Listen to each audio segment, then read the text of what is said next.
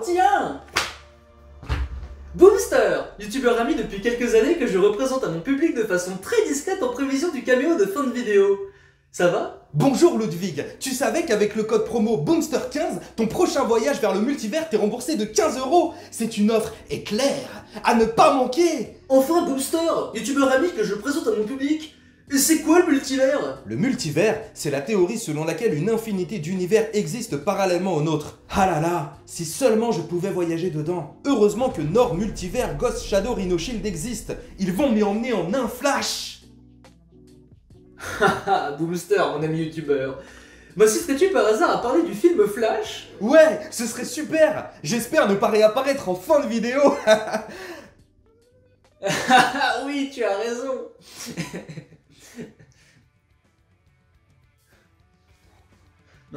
Non. Ah, je peux pas parler de ce film de merde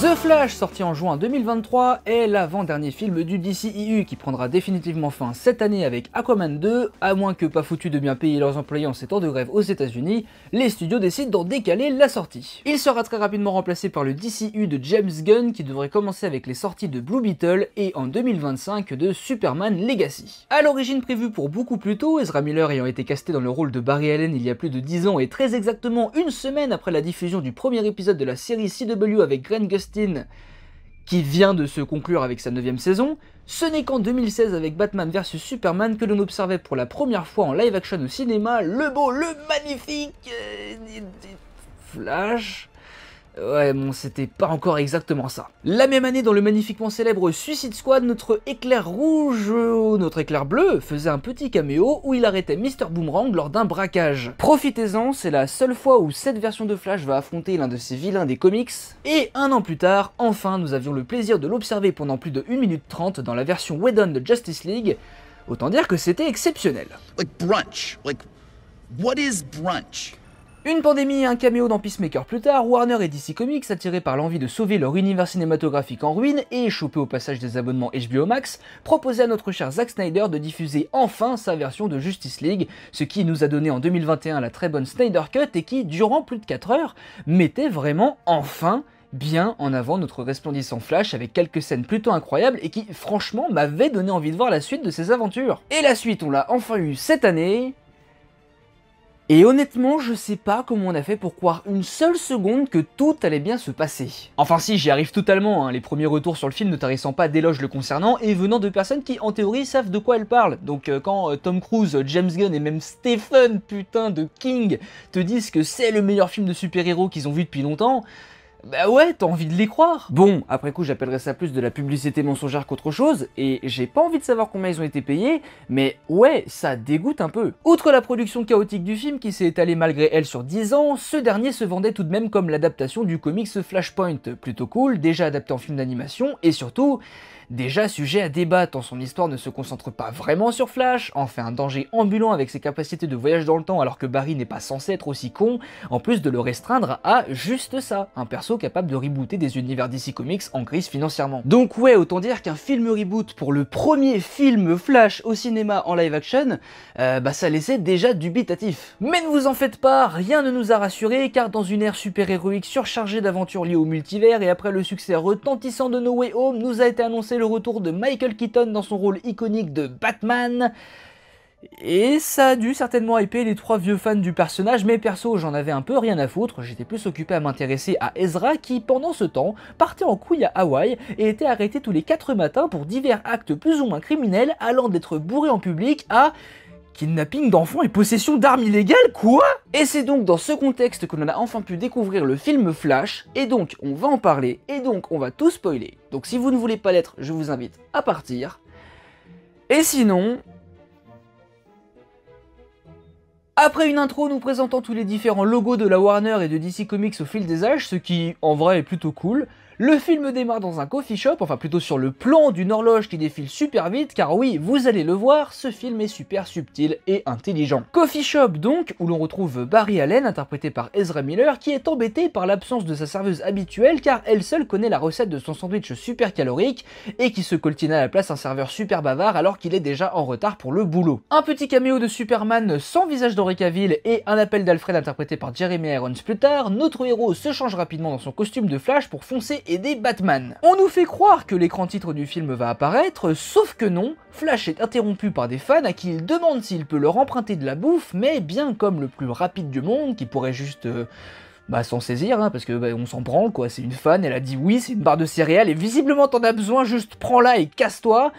Et bah finalement non, Barry s'en va, écran titre, et stop. Stop, car toutes les qualités et les défauts du film peuvent être résumés dans cette petite scène d'intro. Côté qualité, c'est pas énorme évidemment, mais les petits plans qui caractérisent le perso de Barry sont plutôt bien faits. La version d'Ezra Miller en a fait quelqu'un de très mal à l'aise en société. Barry a du mal à être, entre guillemets, comme tout le monde, à changer ses habitudes avec le nouveau serveur, à ne pas être en retard pour le travail malgré ses pouvoirs, euh, il est impatient, il communique chaque détail qu'il observe à Alfred, bref, tout ça nous donne très rapidement une plutôt bonne image de qui est ce Barry Allen, et ça fonctionne. Ensuite, côté musique et design sonore, bah ils sont cool Le thème de Flash, même si on dirait une version Echo Plus de la version CW de Blake Neely, est quand même classe, et les designs sonores font vraiment euh, très chelou, très rapide, enfin très Flash quoi c'est pas mal. Sauf que, euh, bah, il y a aussi tout le reste. Le film annonce d'ores et déjà un humour lourd, euh, pas vraiment drôle et présent tout le temps, au point qu'il désamorce même l'écran titre. Le tout d'ailleurs en perdant 35 ans sur des détails dont tout le monde se branle plutôt qu'en se concentrant sur ce qui importe vraiment, ce que le film ne va jamais arrêter de faire, tout comme le fait de désamorcer ce qui l'installe, par exemple le fait que Barry doit manger, euh, bon bah vous le retenez, hein, et on verra au bout de combien de temps le film n'aborde même plus le sujet. Visuellement ensuite, euh, putain que ce costume est dégueulasse. Pas seulement parce que le costume de base l'est, genre euh, comparer les concept art et le costume final, je sais pas qui a merdé où, euh, mais c'est pas beau, mais surtout parce que ce dernier se voulant être une adaptation des comics New 52 et donc des lignes d'énergie entourant constamment Barry quand il court, il est constamment recouvert d'une surcouche de CGI moche. Et euh, non, vraiment, y a rien à sauver, on a constamment l'impression de voir le Iron Man 2099 de la série animée, mais en moins classe du coup, car on dirait juste un homme rouge nu. Bon, en vrai ça me fait rire, mais de dégoût quoi. Regardez-moi son, petit cul là, sérieux. Et enfin, le plus gros souci, euh, bah, c'est que je regarde pas un film Flash là. C'est pas Flash le focus des événements. Je regarde un film Batman and Friends avec Flash en featuring. Et même si ça sera bien pire par la suite, c'est déjà pas fameux. Et voilà. À quelque chose près, on vient de tout dire. Ça sera un film avec de bonnes idées, mais une exécution et un humour très hasardeux, voire nul, qui ne va pas remplir ses promesses, et surtout qui va pomper Batman constamment au lieu de se concentrer sur Flash. Alors que bah c'est un film Flash quoi. Mais bon, continuons parce qu'on est loin d'avoir fini. Après un très beau plan où Barry s'apprête à courir, ce qui montre la puissance de la force véloce qui littéralement tord l'espace et le temps, on a le droit à Barry qui court et... Euh... Euh, ouais, non, c'est dégueulasse. Hein. Ezra Miller n'a jamais été gâté niveau course. Son Flash a toujours couru comme un mongol, mais là, je crois qu'on atteint vraiment un point de non-retour. Outre les mouvements super peu naturels et la CGI bancale, je suis pas non plus un fan du concept des bottes de 7 lieux. C'est-à-dire que tout va vite autour de Barry, mais lui a l'air de courir à vitesse normale, signifiant que un pas pour lui est un pas de géant. Et c'est super con parce que ça représente super mal sa vitesse. A contrario, chez CW, bon bah la CGI elle est ce qu'elle est pour une série télé, mais quand Flash court, ses mouvements sont rapides et on le voit, et quand il est au ralenti, l'arrière-plan aussi. Ça me paraît beaucoup plus cohérent et surtout bien plus cool visuellement parlant.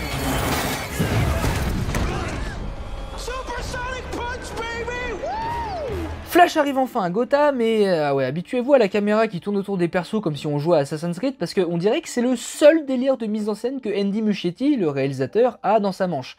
Euh, genre le mec fait que ça. Arrivé à Gotham donc, Barry découvre un hôpital au bord de la destruction tandis que Batman, interprété pour la dernière fois par Ben Affleck, lui annonce que des bandits y ont volé un virus mortel et que pendant qu'il les attrape, ça serait cool si Flash pouvait sauver tout le monde. Bon, évacuons le sujet maintenant, j'ai vu des gens s'extasier sur la séquence Batfleck de ce film, mais...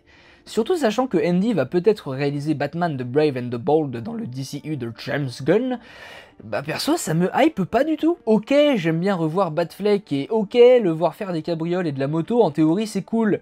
Mais en pratique, ça me laisse plutôt indifférent. Non seulement car on s'en branle des enjeux de la course-poursuite, vu qu'on nous a dit mais pas montré que le virus mortel était mortel, de la même manière qu'on mentionne que c'est le fils de Falconi le méchant, euh, comme si ça avait un quelconque impact. Et justement, vu qu'on est en début de film, bah on le sait qu'il y a zéro danger, donc c'est littéralement juste de l'action conne pour passer un bon moment sans réfléchir, et j'aurais aucun problème avec ça si la mise en scène remplissait son rôle de divertissement blockbusteresque. Mais là... euh, tout me paraît si vide et se déroulant dans un Gotham si loin de la superbe esthétique que Snyder lui avait donnée, se rapprochant plutôt du look d'une ville random du MCU, que cette fameuse course-poursuite, bah elle me fait plus chier qu'autre chose. J'ai l'impression qu'on agite des clés devant moi pour me garder investi, mais avec des enjeux si bas, une mise en scène si ennuyante, et sachant qu'on reverra jamais Batfleck alors que j'aimais bien Batfleck, surtout quand je suis censé regarder un film Flash, pas un film Batman, bah non, ça marche pas du tout me concernant. Bref, du côté de Barry, Alfred explique à ce dernier que le bâtiment va s'effondrer et avec lui une pauvre sage-femme bloquée avec des bébés, ce qui finit par arriver après un magnifique plan de l'estomac gargouillant de Flash. Putain, je, suis ravi, j'ai toujours rêvé de voir ça et c'est désormais chose faite. Merci DC, merci Andy, merci Ezra, euh, merci. On nous offre alors une repompée absolument pourrave des scènes en ralenti de Quicksilver, car complètement en fait en CGI moche, là où dans X-Men uniquement certains éléments étaient rajoutés en post-prod. Mais une bonne partie du cadre, genre la cuisine ou l'explosion du manoir, était réelle et tournée avec une caméra fantôme pour créer un énorme ralenti, et donc ça donnait un bien meilleur rendu. Enfin, on nous explique que Flash doit manger pour garder sa super vitesse dans un gag absolument incroyable. On nous fait croire qu'il va foncer sur un bébé pour le sauver, mais non, que nenni Il visait les distributeurs de bouffe Et waouh Qu'est-ce que c'est laid. Et parlons même pas du filtre jaune mexicain de Breaking Bad, c'est effroyable. Parfois, je pense au mec qui a passé 36 heures par jour à ne pas dormir, ne pas manger, ne pas passer de temps avec sa famille, juste pour produire cette magnifique simulation de vitre qui se brise. Tout ça pour qu'elle se retrouve dans ce gag de merde et, ça me fait pleurer. Je pense aussi que l'un des plus gros problèmes de cette scène est que à aucun moment Barry a l'air d'être cool. Le mec bouge comme un Looney Tunes. Ce n'est pas classe, c'est juste ridicule. Et encore instaurer des gags avec les autres personnes au ralenti qui font des têtes bizarres. Oui, pourquoi pas. Mais là c'est le héros bordel. Pourquoi il a une dégaine de Golemont H24 Bref, un taco c'est un bébé dans un micro-ondes plus tard. Barry finit par sauver tout le monde et Ok, j'avoue, ce gag est rigolo. I understand that these events can be psychologically scarring. You should seek the services of a mental health professional. The Justice League is not very good at that part yet. Trust me. De son côté, Batman continue sa course-poursuite et j'arrive pas à comprendre comment le caméo de Wonder Woman arrive à sauver Bruce avant que Flash n'arrive alors qu'on l'a vu partir à sa rencontre il y a 5 minutes de cela. Et que bah c'est Flash quoi, c'est l'homme le plus rapide du monde, mais bref, on s'en fout. Wonder Woman, elle sert à rien. J'arrive plus du tout à prendre son thème à la guitare au sérieux tellement il est utilisé n'importe comment. Et Gal Gadot joue toujours comme un pied. Suite à ça, on nous refait le gag du lasso de la vérité de 2017 et c'est vraiment nul. Pas uniquement car c'est pas drôle, mais aussi car on voit bien que personne ayant travaillé sur ce film ne s'y connaît au personnage de Batman quand ce dernier déclare Bon, déjà, le lasso fonctionne pas comme ça, euh, mais passons. Parce que le fait de dire que Batman devrait donner tout son argent à la ville pour que ça aille mieux plutôt que de tabasser les criminels. En vrai, si c'était un gag fait par un random, pourquoi pas? En plus, c'est un débat qui revient souvent sur Twitter. Bon, même s'il a pas trop de sens, parce que Batman et Bruce Wayne font du mieux qu'ils peuvent chacun à leur niveau pour aider la ville, et justement, Bruce participe financièrement. Il ne fait pas que tabasser des pauvres criminels tueurs d'enfants qui n'ont rien à se reprocher, bouhouhou, méchant Batman oppresseur mal blanc privilégié. Indépendamment de ça, le fait d'avoir Batman lui-même qui tient ce discours, euh, ça se veut être un gag, mais c'est en fait dramatique. Ça veut dire que le frérot croit même pas en ce qu'il fait. Enfin, je sais pas, c'est tout sauf drôle, c'est juste triste, et con, et factuellement faux en plus. Et, pareil, on l'a déjà vu remercier plein de gens avant. C'est quoi cette histoire d'ego trop gros pour dire merci? Et puis la boutade en mode c'est marrant, euh, Barry il est puceau, mais putain, c'est des collégiens qui ont écrit le script? Sérieux, ça fait rire quelqu'un ça Même Cyprien s'est plus moqué des puceaux depuis cette pige Comme un gros puceau Voilà, j'ai dit, un puceau. Je peux monter le prix Ferme ta gueule Remets-toi en question d'ici T'as 90 ans, t'es divorcé et tes enfants te détestent Réveille-toi, frérot Euh... euh, J'ai l'impression d'avoir un peu perdu le fil là. Barry file enfin récupérer son sandwich après une indication subtile de la problématique du film. You have to stop living in the past. Il fonce à son job à la police scientifique. On rencontre tout un tas de ses collègues, mais on s'en branle, on les reverra jamais, et après une indication subtile de la problématique du film, You need to focus your motion. Do the work. Close the case. Move on. Barry rencontre par hasard son ancien crush Iris West, interprété par Kiersey Clemons, qui, depuis qu'on l'a vu se battre avec des knackis dans la Snyder Cut, est devenu journaliste et qui aimerait poser quelques questions concernant la situation du père de Barry, accusé d'avoir tué sa mère quand il était jeune et emprisonné depuis. Le sujet étant épineux, Barry préfère partir et en profite pour appeler son daron. On remarque qu'il a changé d'acteur, passant de Billy Crudup, que j'aimais plutôt, à Ron Livingston, qui me laisse indifférent. Et on remarque aussi que le contexte de cet assassinat n'a aucun sens. Le matin du meurtre de Nora, Henry était allé acheter des boîtes de tomates oubliées le matin même au carouf du quartier, mais à son retour, cette dernière était morte. Et oui, c'est comme ça, ça arrive. Mais malgré, euh, je sais pas, euh, les tickets de caisse, euh, l'inventaire des courses, le fils qui corrobore, ou même les images de vidéos de surveillance montrant quelqu'un habillé exactement comme lui dans le magasin, et bah rien de tout ça n'a été jugé suffisant comme alibi car, oh là là, Henri avait une casquette et on ne voit pas son visage.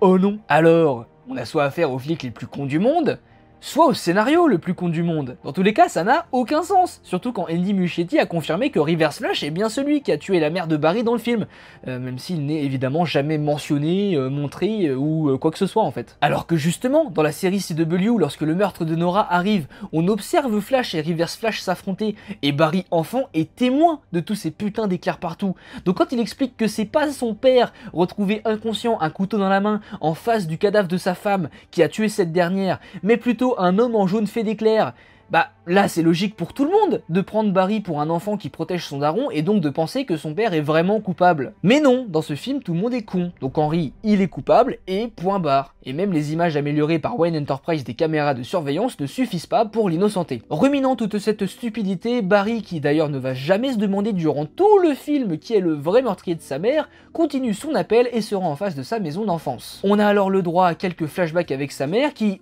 en vrai, sont cool. Genre, euh, c'est pas du grand art, mais euh, ça reste touchant. Ah, par contre, je m'en fous de ça normalement, mais là, le film nous introduit le fait que la famille de Barry est d'origine latino-américaine. Sauf que ça sort de littéralement nulle part. Ça n'a jamais été mentionné avant. Ce Barry Allen, que ce soit dans ses précédentes apparitions ou euh, dans ce film, ne fait jamais référence à ses origines latino-américaines. Et justement, Ezra Miller est tout sauf latino-américain. Donc, je sais pas d'où ça sort, mais ça me fume de rire. Et ça donne une explication super glauque à pourquoi Henry a été jugé aussi injustement par les tribunaux américains. Cool. Après une indication subtile de la problématique du film, Not every problem has a solution. on assiste en live au meurtre de Nora et ok, ce plan où Barry enfant fuit sa maison comme s'il fuyait la disparition de sa mère, faisant ainsi une transition autant entre le temps et l'espace jusqu'au Barry du présent car lui non plus ne l'a toujours pas accepté, est plutôt cool. L'appel se termine et Barry prenant son meilleur seum court sans s'arrêter pour penser à autre chose. C'est un peu moins moche cette fois, peut-être parce que la scène se déroule de nuit, et ok, j'ai rien dit, c'est toujours aussi dégueulasse. Après des effets spéciaux qui feraient trembler le retour de la momie, Barry perce une sorte de trou dans la force véloce, se met à courir à l'envers et comprend, en voyant les versions en 3D encore plus moches que la première fois des événements qu'il a vécu plus tôt dans la journée, qu'il peut remonter dans le temps bien plus loin que juste de quelques secondes comme dans la Snyder Cut. Troublé par cette découverte, il appelle Bruce pour parler avec lui des possibilités que cela implique, mais ce dernier l'alerte sur les conséquences désastreuses que l'effet papillon pourrait également avoir s'il tente de changer l'histoire. Leur échange se termine par Expliquant à Barry que certaines choses doivent peut-être arriver et qu'on n'y peut rien, même si elles nous blessent ou font de nous des personnes seules. Et alors que Barry lui propose de passer un petit peu de temps avec lui pour remédier à cela.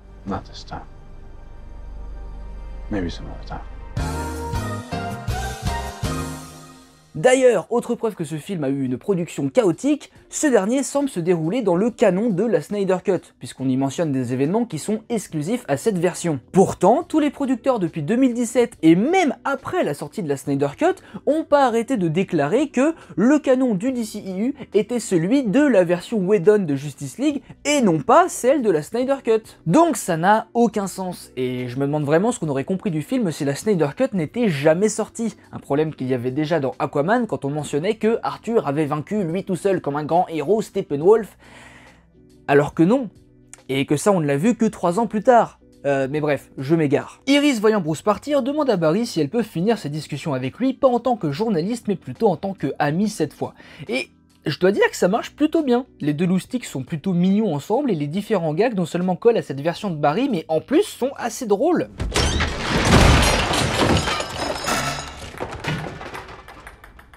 Can I offer you a drink? Sure.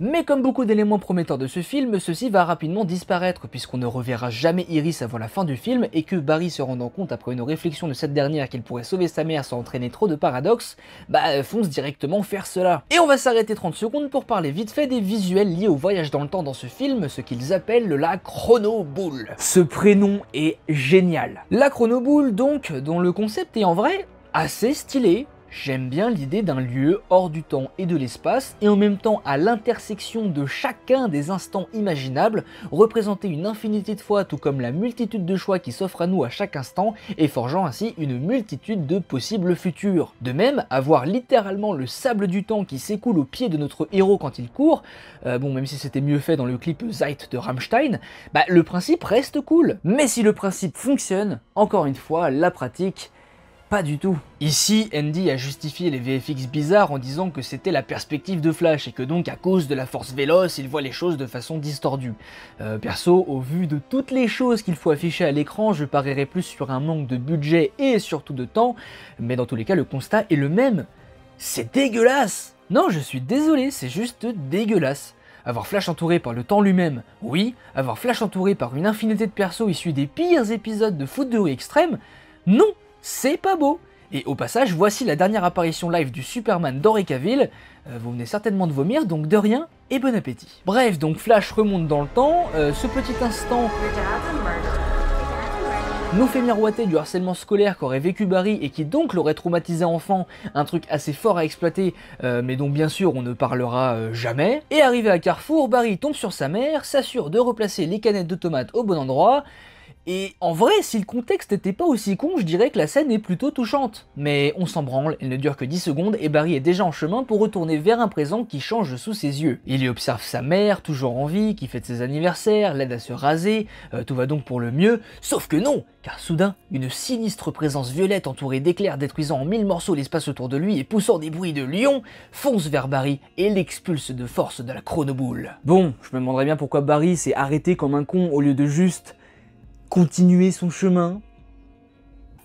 Euh, mais c'est pas grave, je chipote. En vrai, la scène est plutôt intrigante, donc on va dire que c'est cool. Et qu'est-ce que tu fais? Moi? Bah, en fait, j'aimerais bien voyager à travers le multivers, mais j'ai jamais réussi. Sauf que là, là, le lion violet, bah, avec son costume de merde, il a réussi. Donc je me dis que peut-être en le faisant en scotch, je pourrais réussir aussi. Oh putain, mais qu'est-ce que vous avez tous à vouloir voyager dans le multivers? Avec du scotch en plus? Oui. Tu, tu me laisses sans voix. T'es juste complètement con en fait. Oui Un peu déboussolé par ce qu'il vient de se passer, Barry vole les vêtements d'un couple de retraités passant par là, non, il n'y a pas de retraite aux États-Unis. Bon, bah, il vole les vêtements de pauvres grands-parents prolétaires passant par là et se rend illico presto chez lui où il trouve sa maman encore en vie. Profitant de ses retrouvailles avec elle, Barry est rapidement interrompu par l'un des points du film que j'aime autant que je déteste, un jeune Barry de 18 ans qui donc existe en même temps que notre Barry car ce dernier a été éjecté de la chronoboule avant de retourner dans le présent. Faisant un rapide résumé des événements à son double du passé, on comprend rapidement quelque chose. Le jeune Barry est écrit comme le comique relief du film, et autant parfois il est marrant, autant parfois il est juste insupportable. Le film essaie de s'en excuser d'ailleurs en le faisant remarquer à Barry, mais bah... Euh, ok, super les gars, vous avez conscience que vous avez écrit un personnage casse-couille il reste quand même casse-couille. Tous ces détails sont rapidement balayés quand Barry se rend compte que nous sommes le 29 septembre et que c'est le jour où il a reçu ses pouvoirs. Mais puisque dans cette timeline sa mère n'est jamais morte, Barry jeune n'a jamais été passionné par la police criminelle et donc ce 29 septembre c'est un rencard avec Iris West qu'il est censé avoir. Il ne sera donc pas dans son labo, il ne sera pas frappé par la foudre, il n'obtiendra jamais ses pouvoirs de flash et ce faisant, notre Barry pourrait bien disparaître de l'existence. Alors je dois dire que pour le coup le film est plutôt intelligent sur son explication des paradoxes temporels car là, à ce stade, on en reparle après, Barry nous dit textuellement qu'il n'a aucune idée de ce qui va lui arriver. Donc on ne met pas en place des fausses règles ultra strictes, non, on te dit juste qu'on n'en sait rien. Et ça n'évite pas les incohérences, mais au moins ce n'est pas faussement intelligent.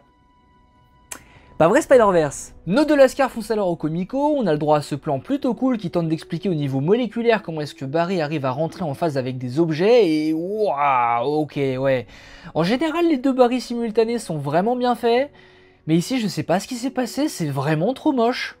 En fait, j'ai menti, je sais. Enfin, j'ai pas menti, je l'ai appris après coup quand ils ont sorti tous les making-of, et donc j'aimerais vraiment vous en parler parce que bon, dans tous les cas, la vidéo va durer 2h40, mais surtout parce que je trouve ça vraiment super intéressant. On apprend dans ces making-of en fait qu'ils n'ont pas utilisé la technique traditionnelle pour doubler les acteurs, mais un dérivé de cette dernière qu'ils ont tenté d'améliorer avec donc une nouvelle technologie. Ezra Miller tournait une première fois les scènes en tant que Barry vieux avec une doublure, puis une deuxième fois les scènes avec Barry jeune et une doublure, puis une troisième fois, il tourner en fait les répliques de chacun des deux personnages, mais dans une salle à part, une salle de performance capture où il était complètement scanné en 3D. Tout ça fusionné ensemble fait que sur presque toutes les scènes où les deux Barry apparaissent ensemble, eh bien il y en a un des deux qui n'existe pas du tout. C'est un corps complètement en CGI sur lequel on a scotché la performance scannée en 3D de Ezra Miller. Allez, il y a 4-5 fois où c'est vraiment vraiment hasardeux et en vrai si tu regardes dans le flou, tu c'est pas beau, tu vois. Mais sur l'ensemble d'un film et sur le fait que c'est une sorte de nouvelle technologie, en tout cas une amélioration de ce qui était préexistant, bah je suis désolé, je trouve ça vraiment vraiment très très cool. Là pour le coup, le film a vraiment fait un bon job, c'est vraiment vraiment très très cool, ça permet au cinéma en général d'avoir des, nouvelles technologies, tu vois, euh, à, disposition. Et, là, pour le coup, c'est vraiment cool. Genre, premier degré, c'est stylé, tout comme d'ailleurs euh, le costume euh, du, lion violet. C'est un vrai costume qu'ils ont fait, il est pas en full CGI, et je trouve ça trop cool. Le personnage, on en reparle, mais je pense qu'il faut quand même reconnaître ce qui est bien vis-à-vis de ce film. D'ailleurs, vous avez un petit, une petite preview du nouveau décor que j'ai hâte de vous montrer dans des nouvelles vidéos. Bref, donc sur ce, je me casse et je vous laisse avec le Ludwig du passé. Après quelques péripéties, notre Barry met en place les conditions parfaites pour que son jeune double soit frappé par la foudre, ce qui évidemment ne plaît pas des masses à ce dernier, qui a pas vraiment envie de se prendre un éclair dans la gueule, mais trop tard, Flash McQueen est passé par là, les deux Barry se font électrocuter. Un magnifique plan sur une dent arrachée de notre Barry finissant dans la bouche du jeune Barry puis rescotché à la glu plus tard, nos deux Mongolitos tentent de fuir le commissariat. C'est là que Barry comprend que si son jeune double a effectivement gagné des pouvoirs, lui...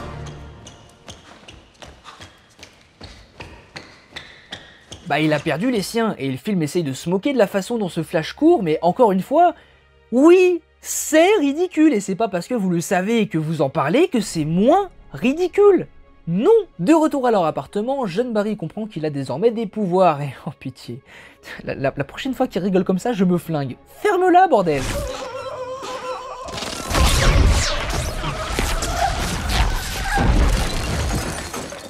Ce dernier gagne tout de même du capital sympathique. En profitant de ses pouvoirs, il décide de partir courir partout en ville, ce qui bien sûr tourne au désastre, mais honnêtement, je ferais la même chose si je devenais Flash un jour, donc je le comprends totalement. Bon alors par contre, le cul de Ezra Miller, c'est pas quelque chose que j'avais envie de voir plus que ça, mais enfin bref, on reparle du fait que Barry a super faim et donc il mange tout et n'importe quoi, et après un petit topo du vieux Barry sur ce que la super vitesse permet de faire ou non, on retrouve nos deux bébous le lendemain, vieux Barry confie son costume à jeune Barry pour qu'il arrête de finir à poil tout le temps. Et on est d'accord, c'est qu'un détail, mais J'aime beaucoup que le film insiste autant sur le fait que Barry a réussi après beaucoup d'efforts à se construire un costume parfait parce que c'est pas du tout ce que nous expliquait le comics adapté du film et ayant pour but de faire un prologue à ce dernier. Non, ici c'était évidemment nul autre que Batman qui, bien sûr, l'avait construit pour Flash. Et on s'en branle, mais compte tenu du fait que Andy Muschietti, donc le réalisateur, a même dessiné une couverture alternative pour le comics en question, qui donc contredit son film, ou dans le sens inverse, peu importe, bah je trouve ça juste super marrant.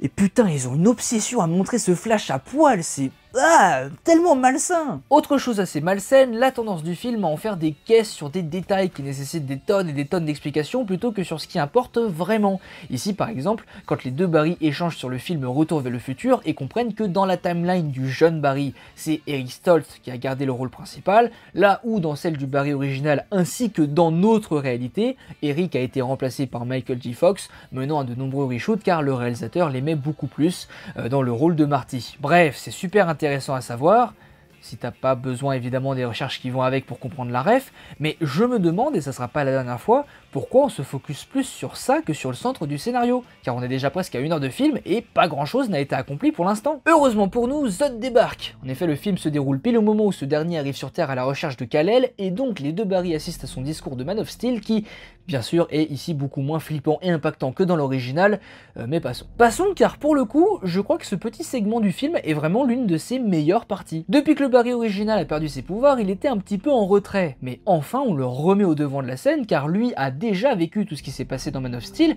et on apprend même qu'il se trouvait à Metropolis et a tenté de sauver des civils de la machine de Zod. J'aime beaucoup ce passage, car en plus de servir de mini origin story à cette version de Flash, qui revit littéralement les premiers instants de sa carrière de super-héros, ce qu'on avait à peine entrevu dans toute ses autres apparitions du DCEU, et bah justement, pour une fois, le DCEU paraît tangible, en ayant des événements clairement identifiables qui impactent différents de nos persos simultanément, et Autant me dire qu'on n'a pas eu le droit à ça depuis Batman vs Superman au cours d'une dizaine de films, bon bah ça fait chier, autant là, voir notre Barry qui même s'il est un novice tente d'aider car il peut, bah ouais, ça marche et c'est cool. Malheureusement, c'est beaucoup trop court, car Barry se persuade que s'il retrouve en avance tous les membres de la Justice League, il pourrait sauver en avance tout le monde et ainsi modifier l'histoire. Sauf que avant d'arriver à ce passage du film, on a le droit à une incrustation dégueulasse du second Barry, ainsi qu'à une pelletée de personnages qu'on ne reverra jamais, amis du second Barry justement.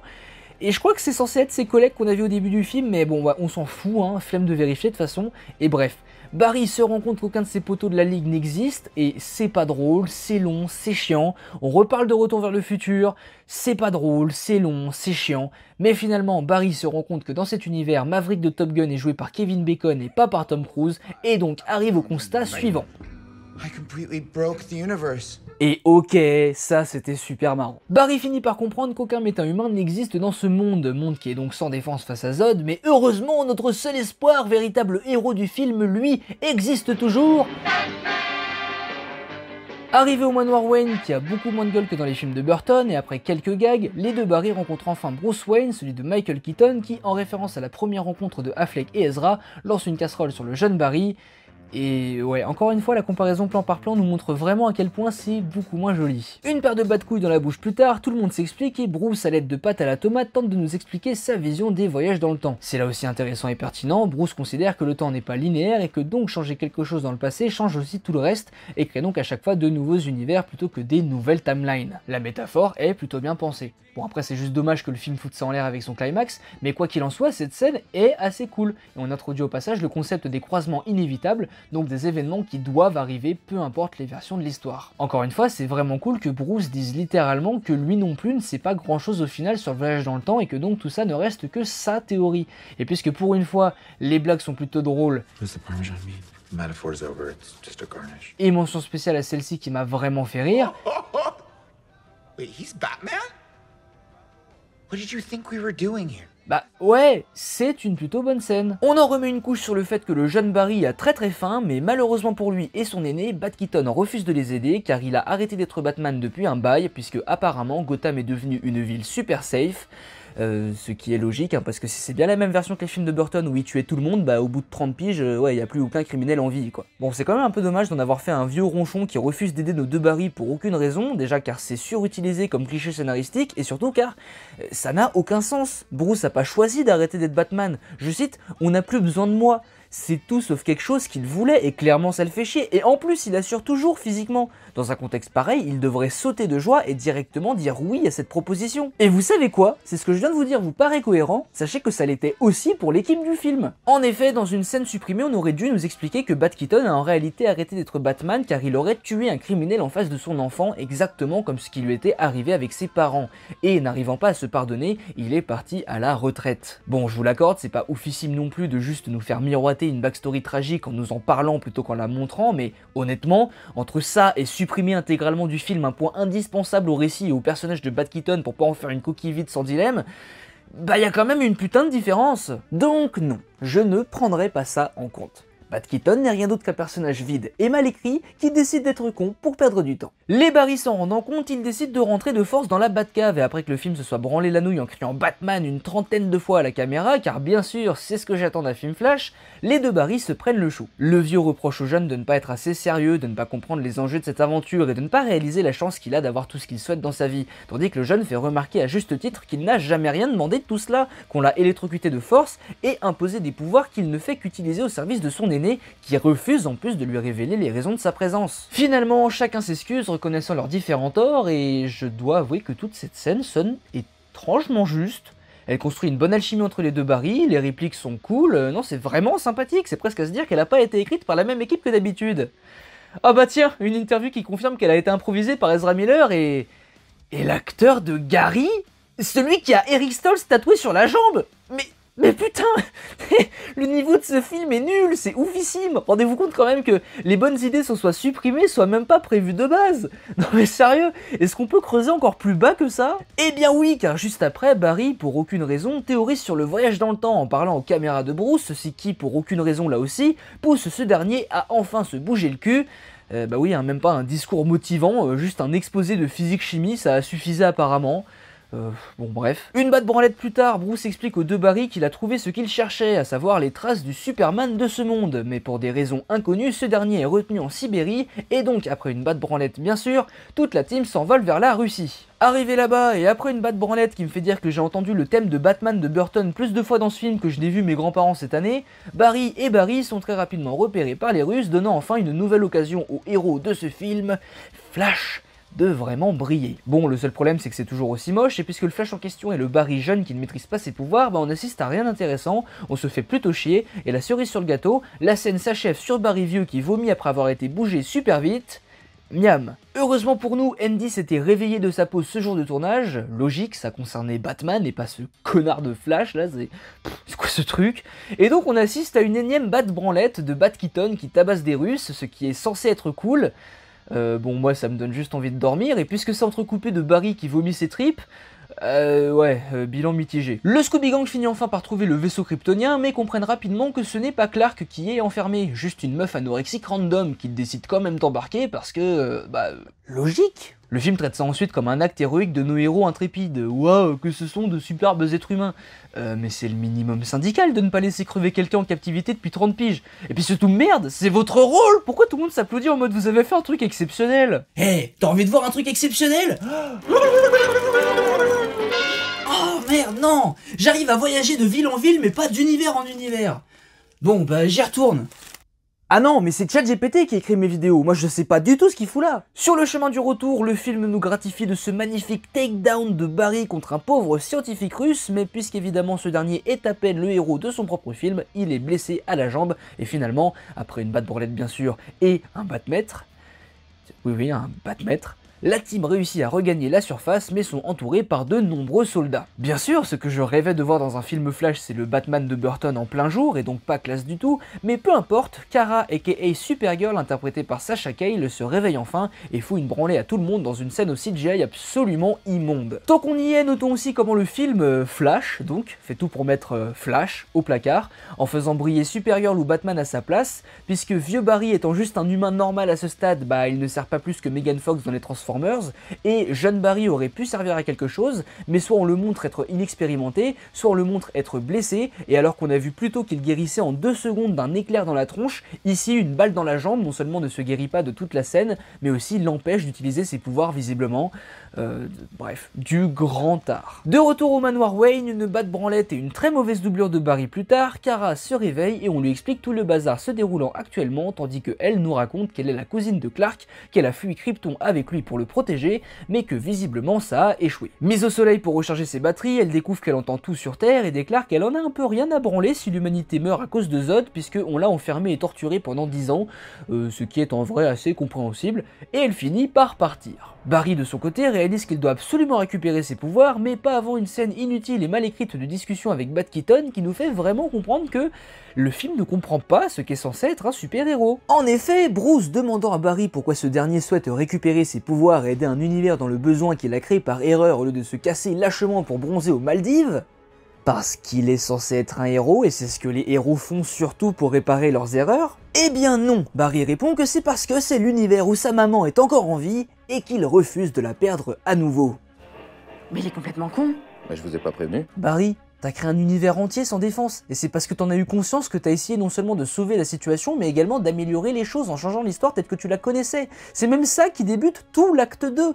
Et on l'a vu dans ton flashback, t'avais à peine tes pouvoirs que t'as quand même essayé de sauver Metropolis parce que tu le pouvais, en agissant donc en héros qui aide parce qu'il peut. D'où, face à cette situation, Batman, héros notoire depuis 40 piges, juge pertinent de te poser cette question et en s'attendant à une autre réponse que bah c'est ce que les héros font en fait, et d'où toi, Barry, qui est l'objet de tout ce que je viens d'émunérer, tu ne résumes la situation qu'à je dois sauver ma mère.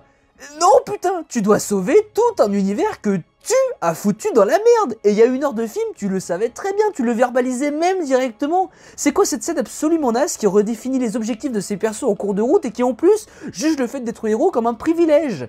Genre, ah ouais, aujourd'hui je me suis levé, je voulais sauver des gens. Euh, Non putain, t'as mis des gens dans la merde, tu les aides. Point barre. You know what? I'm so happy you find this all so hilarious. But we are dealing with real people's lives, people's families, and I don't think you can grasp the gravity of that. Bref, Bruce comprend vite que Barry Jeanne n'est pas au courant pour la mort de sa mère, mais ce dernier écoutait en réalité tout depuis un coin paumé de la Batcave où il mangeait un petit sandwich. Finalement, la team s'organise pour redonner ses pouvoirs à Barry et Bruce ramène alors son magnifique bat paratonnerre pour les aider. Oui, son bat paratonnerre, oui, juste avant il y avait un batmètre, et oui, j'ai envie de mourir. C'est pas le concept en soi qui me dérange. Je veux dire, je pense que le film Lego Batman est genre mon film Batman préféré, donc c'est pas que je trouve les bat-objets absurdes.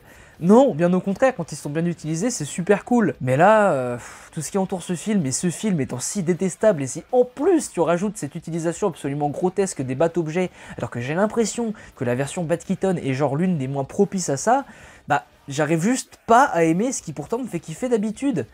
Honnêtement, c'est un peu triste. À la décharge du film, cependant, ce n'est pas trop un problème d'avoir le bat paratonnerre qui est visible par tout le monde au-dessus du manoir Wayne, parce que Bon, si techniquement c'est un problème, mais en fait ça ne suit que ce qu'il y avait dans les films de Burton où par exemple le bat signal bah, envoyait son rayon directement dans le salon de Bruce Wayne. Euh, ce qui fait donc que le mec en a rien à foutre de son identité secrète tant que ça lui permet de faire euh, deux ou trois photos insta stylées. Euh, mais techniquement c'est pas un souci parce que voilà quoi, le film reste cohérent avec ça. Cohérent donc avec euh, sa stupidité. Oh putain, ce film Mais ce film, sérieusement Pendant ce temps, après des scènes de vol bien moches en comparaison à Man of Steel, Supergirl arrive dans le désert où Zod avait donné rendez-vous à l'armée américaine et Michael Shannon avait complètement raison quand il expliquait en interview que ce film donnait vraiment l'impression d'avoir été écrit par un gosse qui joue avec des figurines. Bon, juste après ça, il a déclaré que quand même le film restait super cool parce que évidemment Ezra Miller étant Ezra Miller, bah fallait bien que quelqu'un fasse la promo du film. Est-ce que c'est ce moment où je vous parle du compte fan pas officiel The Flash qui a assuré la promo de ce dernier pendant des mois en attendant que Warner ou DC Comics daignent bien en parler? Peut-être une autre fois. Mais le constat est réel. Zod a perdu toute substance, la meuf cool qui l'accompagne aussi, ils ne sont plus que des coquilles vides présentes juste pour délivrer un speech de vilain bas de gamme joué sans conviction, et face à ça, on a juste envie de réagir comme Supergirl qui observe l'armée américaine se faire poutrer le cul. Euh, ouais, est-ce que, Sacha, ça serait possible de jouer? Non, parce que par rapport au fait que t'es une actrice et tout, s'il te plaît, tu vois, on fait ça On fait ça. Allez, super. Non, vous savez quoi? Je la comprends. Elle a dû se demander, tout comme nous, pourquoi son personnage, qu'on vient d'introduire il y a moins de deux minutes comme étant quelqu'un qui s'en branle du sort de l'humanité, bah justement, on a soudainement quelque chose à foutre. ça n'a aucun sens. On lui a dit, attention, Zod, il va tuer des gens. Elle a répondu, M'en bat les couilles. hein.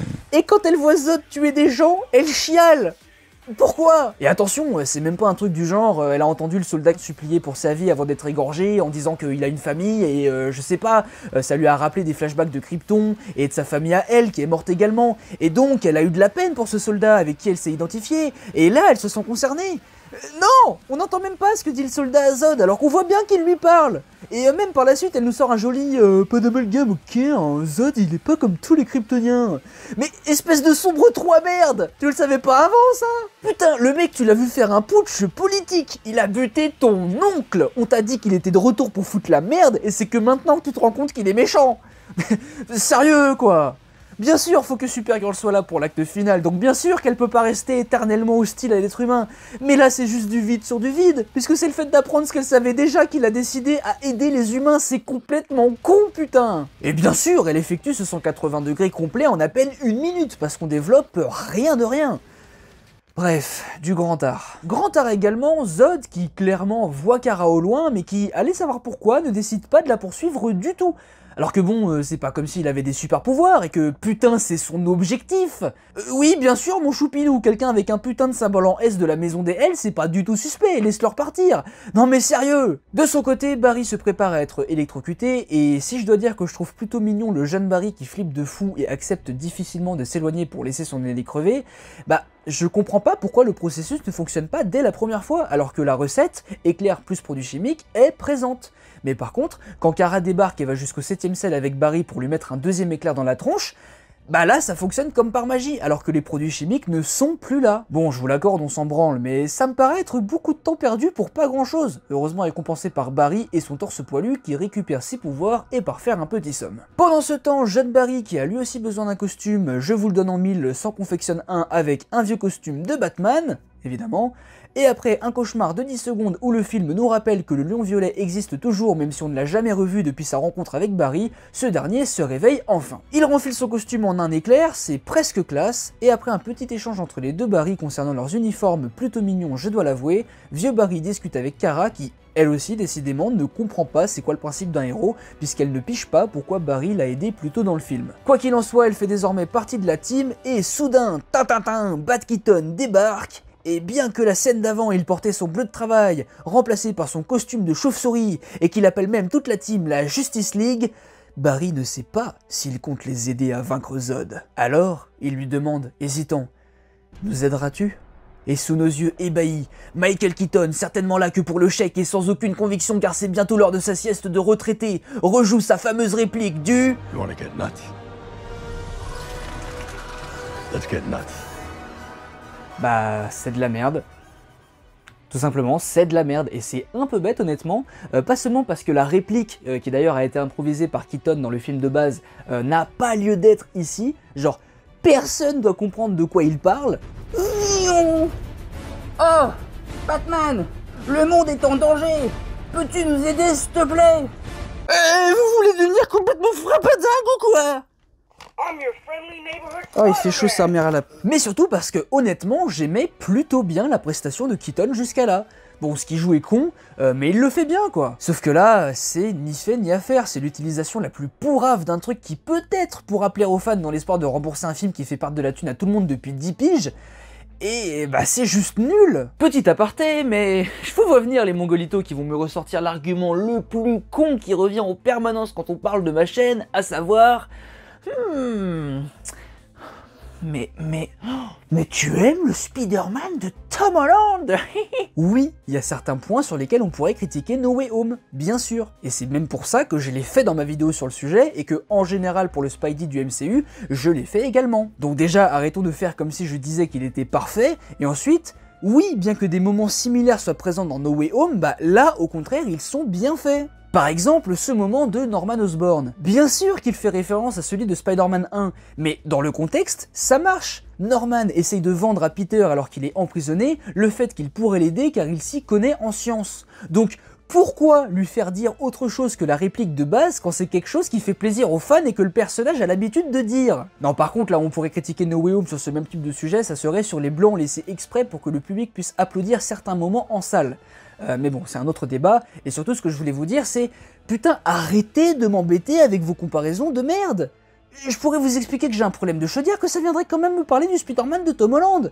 Vous pouvez être un peu pertinent parfois, ou c'est trop demandé. Une batte branlette plus tard, le Scooby Gang se rend sur le lieu de la bataille entre Zod et les Ricains, et Vieux Barry explique à Jeune Barry qu'il ne doit pas oublier de faire des pauses dans l'utilisation de ses pouvoirs, car sinon, son costume ne dissipant pas l'énergie comme le sien, il va faire des surcharges. Qu'est-ce que c'est? Euh, Pourquoi ça n'a pas été introduit avant? Et pourquoi le film le sort de nulle part en droppant au passage le fait que les Barry doivent manger constamment pour utiliser leur vitesse et qu'ils vont passer toute la bataille finale sans le faire ou même le mentionner euh, j'en sais rien, vous en savez rien, le film en sait rien, personne n'en sait rien, mais hé, c'est pas grave. Explosion, bim bam boum. Alors d'ailleurs, j'adore ce moment où le bat-avion se fait canarder par l'armée américaine et que Bruce dit ça. The humans we came to protect?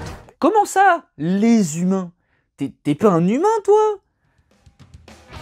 Oula, Attendez. Non Non. Passons outre d'ailleurs le fait que l'armée américaine, face à un avion géant en forme de chauve-souris, symbole du seul héros existant dans cet univers et qui logiquement devrait être connu de tous, euh, bah décide de lui tirer dessus comme des cons, parce que après tout, euh, c'est des ricains, donc le fait qu'ils soient cons comme des pieds, c'est pas incohérent. Un plan de salon Fortnite et un 360 degrés Assassin's Creed plus tard, la grosse baston finale commence enfin, Enfin non, elle a commencé il y a quelques heures de cela et je comprends pas pourquoi les Kryptoniens ont pas déjà buté tout le monde, mais bref, Kara s'en va parler à Zod tandis que les deux Barry élaborent leur plan d'attaque. Ça va être compliqué, nous dit vieux Barry. Les Kryptoniens sont forts et presque aussi rapides que nous, et en plus, on ne peut pas les tuer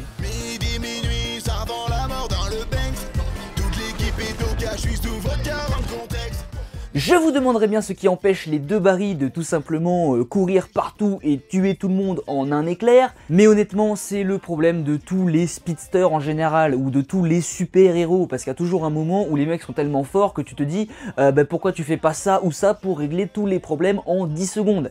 Et oui, sauf que si tu fais ça, il n'y a pas de film, donc évidemment qu'il faut tricher un peu.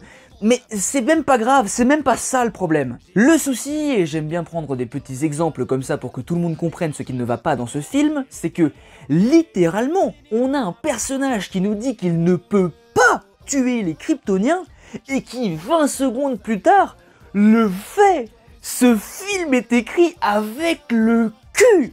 Ah oui aussi, je vais éviter de répéter à chaque fois que les CGI sont moches parce que c'est le cas tout le temps dans cet acte final.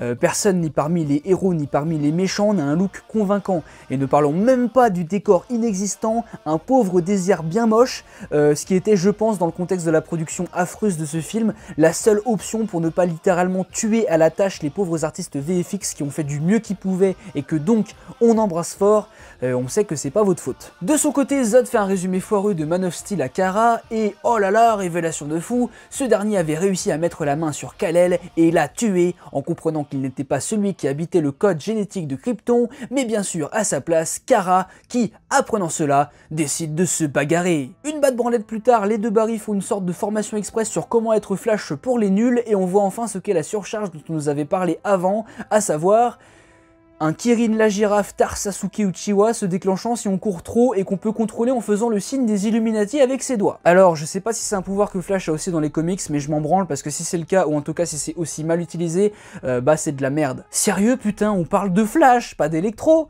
c'était vraiment impossible de faire comme dans la série CW où il se charge avant de lancer un seul éclair bien propre. Bon oui, c'est parti en couille quand ils ont commencé à faire des épées ou des projectiles en éclair, mais sur le principe, c'était bien mieux. Bref, sous fond de Jack White bien trop mal utilisé vu le talent du Boog, tout le monde se met alors à se battre et c'est évidemment dégueulasse, même si j'aime bien l'idée des deux couleurs différentes en fonction de quel flash on regarde, euh, mais bon, vu qu'on exploite très peu leurs capacités et qu'ils sont de toute manière bien moins mis en avant que tous les autres héros de ce film, euh, bah ça reste pas ouf. Mais attention, soudain, le film tente le tout pour le tout pour nous garder investis, car de son côté, après une boîte branlette bien sûr, Bat Keaton est touché et n'arrivant pas à activer son siège éjectable, le plus grand détective du monde ne trouve aucune autre option de secours que l'attaque kamikaze face à des vaisseaux dont on a vu juste avant qu'ils avaient des champs protecteurs, et ce faisant, meurt Littéralement comme une mouche qui se prend une fenêtre.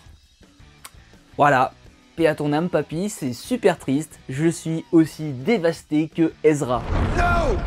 Ça fait beaucoup d'acteurs qui arrivent pas à crier un non convaincant dans le même film quand même.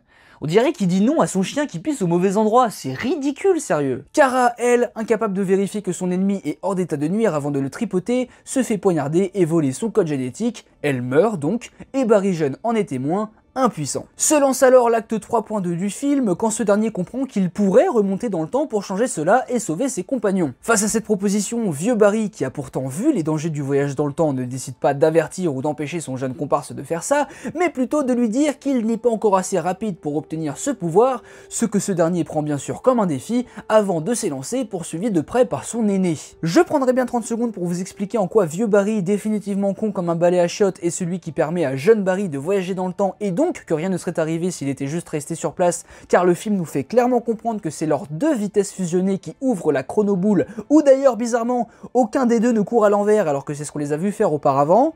Euh, mais honnêtement, j'ai la flemme et de toute manière le film s'en fout aussi. Décidant d'ignorer les distorsions bizarres qu'il observe dans le temps, Vieux Barry se prend finalement au jeu et chacun part de son côté pour changer le passé. Logiquement, car c'est ce que le film nous a expliqué rien qu'avec l'existence du Barry jeune, il devrait donc y avoir 4 flashs en même temps, deux de chaque, mais bizarrement là aussi ce n'est pas le cas, le film a visiblement décidé de mettre de côté le peu de cohérence qu'il avait. Ainsi, Bat Keaton étant alerté vis-à-vis du vaisseau, ce dernier décide de s'attaquer à la place à un des lieutenants de Zod, et allez savoir pourquoi, cet individu qui pourtant possède une force comparable à celle de Superman est embêté par le bat-avion qui tourne sur lui-même. Une batte branlette plus tard, on retrouve jeune Barry qui tente d'aider directement Kara en faisant un tourbillon d'éclairs autour de Zod, mais cela faille misérablement, cette dernière meurt Encore Autour de Papy Batou de mourir pour la seconde fois. Ça fait beaucoup là, non? Et on l'applaudit car il réussit malgré tout à tuer avant ça le gros géant kryptonien.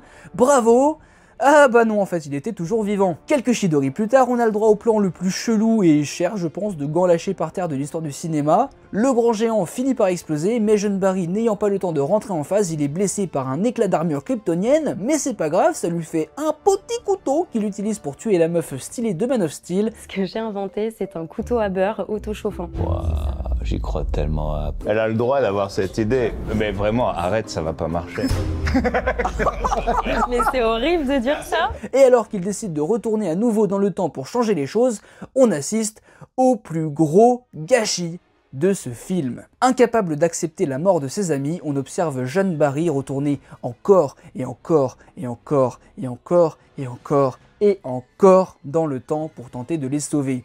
Mais à chaque fois, il échoue. Bien sûr, ça serait plus impactant si les CGI n'étaient pas aussi bancales, mais putain, ce moment fonctionne la musique est prenante, tout comme Jeanne Barry, elle part dans tous les sens et on ressent bien à quel point il est désespéré. Le voir perdre encore et encore ses proches, c'est vraiment fort, et même si son mongol d'aîné reste comme un con sans rien dire, bah putain, je suis vraiment investi dans ce moment. Là, enfin, j'ai l'impression qu'on me montre quelque chose qui a du sens et du poids. Un Barry jeune qui vient à peine d'obtenir ses pouvoirs et qui pense donc que cela le rend invincible au point même de vouloir annuler la mort, tout ça car son aîné avait fait la même erreur avant lui, ce qui a causé toute cette situation en premier lieu et que ce dernier comprend justement en voyant sa version jeune sombrer à ce point. Bref, ça fait un cercle sur soi-même et Flash redevient enfin le héros de son film, c'est pas trop tôt mais surtout ça fait plaisir. Le poulet continue même encore quand les deux Barry s'accrochent un petit peu à ce sujet comme plutôt dans la Batcave, le vieux demandant au jeune d'arrêter ce qu'il fait car visiblement il est en train de niquer l'univers et que donc, comme ce que leur maman disait, il faut savoir accepter que certains problèmes n'ont pas de solution. Et le jeune, laissant s'échapper un poil d'agressivité en répondant qu'il n'a rien demandé de tout ça, mais que maintenant qu'il est Flash, s'il peut essayer de sauver les gens, c'est ce qu'il fera, là où son aîné, responsable du bordel ambiant, n'est qu'un lâche qui choisit la solution de facilité en voulant retourner dans le passé pour tuer leur mère et reset la timeline. Ok, le dilemme n'est pas original, on nous a annoncé 35 fois en amont que ça allait être le cœur du film, et de toute manière, c'est logique au vu de la structure de ce récit. Mais ouais, je suis pris dedans La scène a une vibe très particulière, avec le temps arrêté autour de nos protagonistes et leur voix qui résonnent partout. On comprend autant les deux points de vue qui s'affrontent. On le sent déjà que c'est une histoire sans happy ending.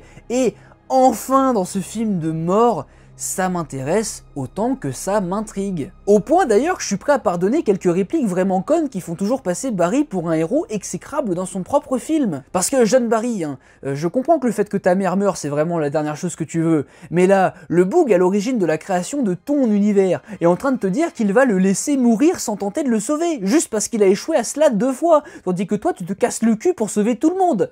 Et genre tu réagis pas. Euh, Rassure-moi, t'as bien compris que si tu laisses le bouc partir, c'est ton univers entier qui meurt, et donc ta mère, et donc toi.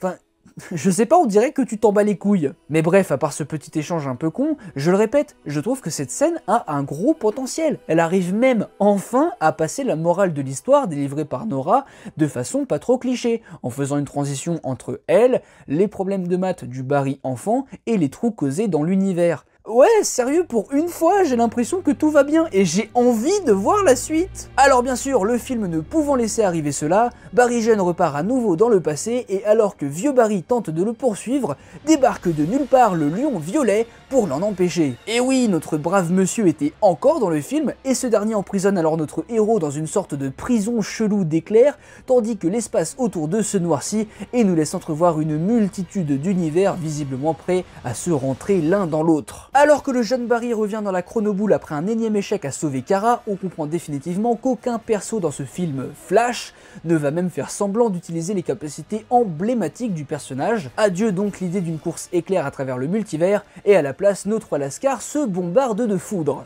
On nous révèle alors que, ta le lion violet est une version du futur du jeune Barry qui, à force de revenir encore et encore et encore et encore dans le temps pour tenter de sauver tout le monde, et échouant autant de fois, eh bien a pété un câble et demande de l'aide à nos héros pour sauver la situation. Et là vous vous dites sûrement waouh mais c'est trop cool nous montre le parcours de Barry qui doit accepter la mort de sa mère et donc autant métaphoriquement que littéralement il est son propre adversaire puisque le méchant du film est une de ses versions futures. Eh bien en théorie oui, Euh, mais là non, là non, car tout simplement, le film s'en bat les couilles. Je ne vous mens pas, alors qu'ils viennent de se faire chier à installer une certaine ambiance les 5 dernières minutes, ce qui suit n'est pas du tout l'explication du pourquoi, du comment, du Dark Flash c'est son nom officiel, mais plutôt une cinématique digne de la PS3 nous amenant à travers le multivers et nous montrant des anciens persos de DC Comics dans le but de faire plaisir aux fans nostalgiques. Alors, quel fan sachant que tout ce qu'on y voit est quand même vachement obscur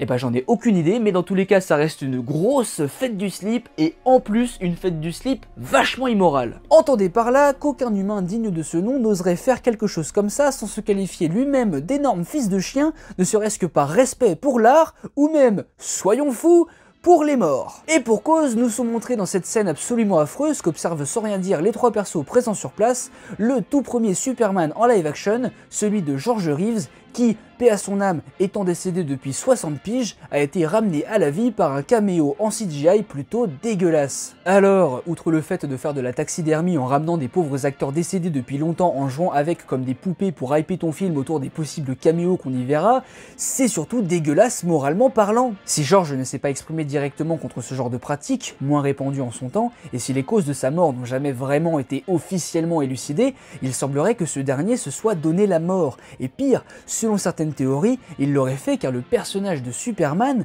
l'ayant rendu célèbre avec son adaptation à la télé, l'aurait aussi enfermé dans un rôle trop contraignant pour lui, plus personne ne le voyant autrement qu'en Superman justement. Et dégoûté par cela, c'est ce qui l'aurait poussé au suicide. Alors rien n'est confirmé, bien sûr, mais ça reste une théorie connue. C'est même la base du film Hollywoodland qui retraçait l'histoire de George et avec d'ailleurs Ben Affleck dedans. Donc, je sais pas qui a eu l'idée de merde de faire revenir d'entre les morts le pauvre mec s'étant suicidé à cause de Superman pour le faire rejouer Superman afin de branler la nouille de quelques personnes nostalgiques, mais dans tous les cas, c'est irrespectueux, immoral, moche et d'ailleurs inutile au récit puisque aussitôt montré à l'écran, George disparaît et la caméra nous montre ce qui est censé être le flash de son univers. Oui, j'ai dit censé parce que personne ne sait qui est ce mec. On a tout de suite pensé à Teddy Sears de la CW puisqu'il porte la même tenue que dans la saison 2 de la série, mais l'acteur lui-même a démenti. Donc à moins qu'on ait mis sa tête sur un corps en CGI sans autorisation, ce qui est là aussi un comportement de fils de pute, bah je sais pas, même en 4K on n'arrive pas à déterminer ce qu'on est en train de voir. Ça n'a aucun sens. Et encore une fois, rien ne va. Le boug, on le voit être également dans une chronoboule. Euh, pourquoi? Comment? On n'en sait rien. Euh, si jamais c'est vraiment Teddy Sears, bah ça a été fait sans son autorisation. Et de toutes les manières, je suis pas sûr que de montrer son personnage qui est en réalité Zoom et se fait passer pour Flash, donc un imposteur, soit le meilleur des trucs à montrer si tu veux hyper les fans avec des caméos. Et d'ailleurs à ce compte-là, Grant Gustin qui avait déjà partagé l'écran avec Ezra et qui est d'ailleurs censé être celui qui lui a donné non seulement l'idée du non Flash mais également l'idée d'un meilleur costume, euh, et bah aurait été bien plus cool à voir. Mais puisqu'on est dans un film Flash, justement, eh bien ce Flash, son nom et visage, sera le seul personnage rattaché un tant soit peu au coureur écarlate qu'on daignera bien nous montrer. De temps en temps, je repense à cette interview de Andy où il avait déclaré qu'il avait plein de caméos qu'il souhaitait faire pour ce film, mais que malheureusement, bouhouhou, euh, bah les emplois du temps ils étaient trop compliqués à gérer et du coup il y en avait plein qui n'avaient pas pu se faire et waouh c'est trop triste. Pouf. Et euh, bref, gardez ça en tête parce que voilà ce qu'on a eu à la place. En effet, alors que la caméra s'envole et nous révèle que chacun des univers de nos beaux petits caméos sont en train de bah, littéralement crever en fait, hein, je, je, me demande bien comment tu fais pour survivre à une collision entre univers. Donc, jusqu'à preuve du contraire, tous ces gens-là sont mort, autant dans la fiction que malheureusement dans la vraie vie, puisque sous le fond de décor généré par Midjourney, nous est montré le Superman de Christopher Reeve, lui aussi ramené à la vie de façon dégueulasse alors qu'il est décédé en 2004 et qu'il s'était pour le coup clairement exprimé contre ce type de pratique qu'il jugeait immoral et surtout qui dénuait le 7ème art de sa substantifique moelle. Bref, il est certain qu'il aurait apprécié, mais c'est pas fini puisque à ses côtés débarque Supergirl interprétée par une copie en CGI de Helen Slater qui, elle pour le coup, est toujours bel et bien vivante. Euh, je crois qu'elle avait même interprété la mère de la Supergirl de Melissa Benoît dans la CW, euh, tout comme John Wesley Shipp, euh, le premier Flash à la télé qui avait repris le rôle du père de Barry dans la série, et même avant ça, je crois qu'elle était apparue dans Smallville, tout comme Christopher Reeve. Bref, autant de moments bien plus respectueux des personnages et des acteurs, mais dont évidemment ce film Flash et son équipe créative se branlent la nouille. D'ailleurs, j'ai pas mentionné Midjourney pour rien, car non content de ramener des acteurs morts à la vie, certains soupçonnent le film d'avoir usé de l'intelligence artificielle pour certains passages. C'est le logo de Supergirl le plutôt moche ou le Batman d'Adam West sans oreille de chauve-souris sur son costume qui ont alerté certains tweetos. Et euh, bon bah c'est à confirmer, mais si c'est vrai, bah c'est encore une fois une belle preuve du je m'en foutiste complet dont fait preuve ce film. Ah non, pardon, c'est vrai, ce film en a quelque chose à foutre, mais que quand il faut pas. Rappelez-vous de ce gag infernal sur Retour vers le futur, dont tu ne comprenais la logique qu'en étant informé sur les dessous du film, et bah The Flash recommence l'exploit en nous présentant 30 secondes d'un mystérieux Superman qui affronte une araignée géante et que l'on révèle être Nicolas Cage. Et je vous le garantis, je suis prêt à hypothéquer ma baraque que j'ai pas encore, à vous vendre mes couilles et mes mains, je vous donne tout ce que j'ai, si j'ai tort. Personne de lambda, donc genre même pas genre des cinéphiles, juste vraiment, ton daron tu l'as levé le dimanche pour aller voir le film avec toi, personne de lambda n'a eu cette ref. Bon alors moi je l'avais parce que j'ai vu les vidéos de Durandal sur Batman, Superman et Tutti Quanti, et euh, vous devez certainement l'avoir désormais puisque différents mecs connus en ont parlé entre temps, comme JDG chez Fotaku ou même euh, Squeezie, euh, qui d'ailleurs avait spoilé ça en story juste avant la sortie du film, euh, et c'était absolument hilarant, euh, parce que donc c'était un partenariat, et il a essayé de hyper le film, sauf que la seule chose qu'il a trouvé à dire pour l'encenser, c'était Ouais, parfois les CGI on dirait un peu un jeu vidéo, mais sinon c'était cool, merci Warner. Bref, c'était n'importe quoi. Le jour où j'ai vu ça, j'ai déchanté, c'est rien ne va. Je sais pas si je vais vous retrouver la story, mais rien ne va.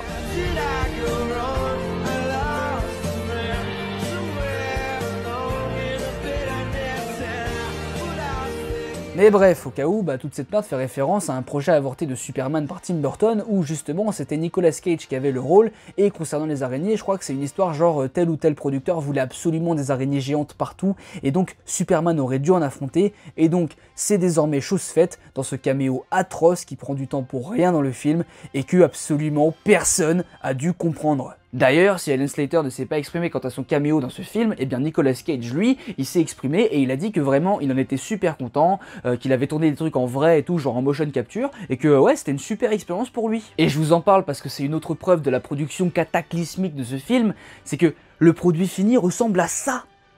Alors ouais, c'est chaud de faire rajeunir des acteurs, mais en théorie, quand t'as un vrai acteur sous la main et que tu lui mets des petits points sur la gueule, bon bah ça fonctionne. Regardez genre Samuel L. Jackson par exemple dans Captain Marvel, franchement, ça passe de fou. Et là, que Nicolas Cage vienne nous dire ouais ouais j'étais là j'ai vraiment tourné des trucs c'est pas euh, genre un modèle qu'on a complètement refait en CGI de ma tête mais c'est bien moi rajeuni et que le modèle ressemble à ça c'est que genre, les mecs ils ont eu 36 minutes pour travailler sur les VFX du film, c'est pas possible autrement. Bref, dans ce qui semble être des reshoots, car clairement les cheveux de Ezra sont dégueulasses, et c'est d'ailleurs pas la première fois qu'on capte qu'il y a des reshoots à cause de ses cheveux, et bah le film décide enfin de reprendre son histoire, car oui oui, tout ce que vous venez de voir, c'est 2 minutes de caméo, était complètement inutile. Barry confirmant que les univers sont bien en train de crever et que à cause de leur connerie c'est la fabrique même de l'existence qui s'écroule sur elle-même, ce dernier implore le deuxième Barry jeune du futur de tout arrêter. Je refuse catégoriquement de l'appeler Dark Flash. Non, ju- juste non. C'est bon, les conneries, ça va 30 secondes. Non. Bref, ce dernier répond que non, rien ne s'arrêtera tant qu'il n'aura pas sauvé tout le monde, et il révèle que Tintintin, c'était bien lui qui avait éjecté Barry de la chronoboule au début du film, je cite, pour le forcer à se créer lui-même en faisant du jeune Barry un flash lui aussi, créant donc un paradoxe infini. Et ça n'a aucun sens, et c'est tellement dommage. Je l'ai déjà dit dans ma vidéo sur Spider-Verse, le voyage dans le temps c'est un bordel sans nom parce que par définition ça n'existe pas. Et selon certains grands théoriciens comme Hawking d'ailleurs, si ça finit par exister un jour, ça ne sera que sous des conditions très spécifiques, très chiantes à obtenir, mais surtout uniquement vers le futur. Donc le problème c'est que théoriser sur le voyage dans le temps, surtout vers le passé, car c'est surtout ce qui nous intéresse en fiction, bah c'est un peu vain, car Rien n'a vraiment de sens en soi. Mais c'est pas ça le problème. Le problème c'est que tous ces soucis d'incohérence peuvent être évités si l'œuvre en question impose ses propres règles à elle et suit ces dernières à la lettre. Bon, c'est un peu un code de triche, mais là, techniquement, l'œuvre reste cohérente avec elle-même via les règles qu'elle a définies malgré le fait que théoriquement, sur la base de rien car ça ne sera jamais réalisable, bah ça n'a aucun sens. Et donc toute cette histoire avec le mec que j'appellerai pas Dark Flash est très dommage parce que jusqu'à présent, le film avait évité pas mal d'emmerdes concernant le voyage dans le temps en ayant différents personnages qui confiaient leurs théories et vis-à-vis de ce qui finissait par arriver ou pas dans le film, bah on en confirmait certains points ou pas, genre les croisements inévitables ou le fait que chaque voyage dans le temps ne crée pas une nouvelle timeline mais bien un nouvel univers, créant donc à force le multivers. Oui d'ailleurs on est censé comprendre dans ce film que l'ensemble du multivers DC Comics n'existe que grâce au second Barry ou... euh, comment ça marche cette merde? Bref, tout ça pour dire que faire tous ces efforts pour s'éviter des emmerdes et finir le film par ah bah en fait non, le temps est linéaire et on peut en faire des boucles bien que Darky la foudre noire n'existe pas en premier lieu et que donc il peut pas se créer lui-même et que donc il n'existe pas et que donc il peut pas se créer lui-même. Et donc enfin bref vous avez compris, ce qui sous-entend que la première itération de la boucle a été causée par erreur par Barry sans que personne ne l'éjecte de la chronoboule et donc que Darkou, Bébou Noir et Clairoux n'avaient pas besoin de le faire en premier lieu mais qu'il est quand même là pour faire du teasing de bâtard alors que les règles même du film auraient suffi à justifier l'existence du jeune Barry et donc par la suite du Darky Flashou puisqu'on aurait pu le voir ce dernier devenir en live le vrai antagoniste du film plutôt que spoiler mourir comme une merde et faire comme si de rien n'était. Et j'ai perdu tout le monde avec cette phrase beaucoup trop longue, bah c'est complètement con. Pour résumer plus simplement, le problème c'est pas le paradoxe temporel qui n'a aucun sens. C'est normal, ça n'existe pas, on s'en fout. Le problème c'est que le film a tout fait pour éviter ça, avec des règles vraiment super intelligentes.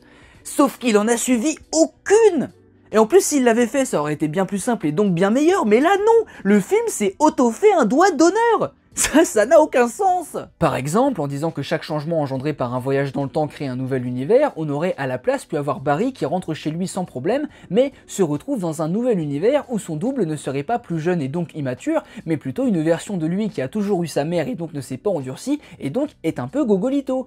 Et à part quelques éléments à changer, on aurait pu avoir le même film, puisque bah, j'en sais rien. On n'a qu'à dire que Zod y débarque dix ans plus tard, on s'en fout, c'est un nouvel univers. Ensuite, on n'a qu'à justifier que Barry 1 a perdu ses pouvoirs parce que le voyage dans le temps l'a mis à sec, ou peu importe, ça donne par erreur les siens à Barry 2, là on se dit what the fuck, le temps et l'univers ils sont complètement pétés, là Bruce Wayne nous explique sa théorie, ça fait sens pour tout le monde, Barry 2 finit par péter un câble et devient Dark ou sous nos yeux, bim, gros affrontement, Barry apprend sa leçon et efface tout, et euh, bref, on s'économise tellement de problèmes euh, mais non, juste parce que les gars étaient pas foutus de relire le script, bah là on a juste un gros tas de merde. Et alors c'est génial parce qu'en plus le film se roule dedans, puisque Darky Beboom sous-entend que Barry finit toujours par revenir dans le temps et donc le laisse tout seul, et donc il arrive à sauver personne, et donc provoque la boucle dont il parlait avant. Sauf que... non Juste non, si Barry revient dans le temps, Darky fils de Pluto, il a plus de raison d'exister, son univers il s'éteint sur lui-même, genre ça fait... ça explose, il, crève le mec ok, vous savez quoi, on s'en branle. on s'en fout. Le film, il s'en bat les couilles, donc nous aussi. Euh, euh, Darky euh, Poutinous de merde, là, il fait ses bim bam boum éclairs. Il s'élance sur Barry, mais finalement, jeune Barry, va se sacrifier pour le sauver, car bien évidemment, un gars doté de super vitesse ne peut pas éviter un coup de couteau.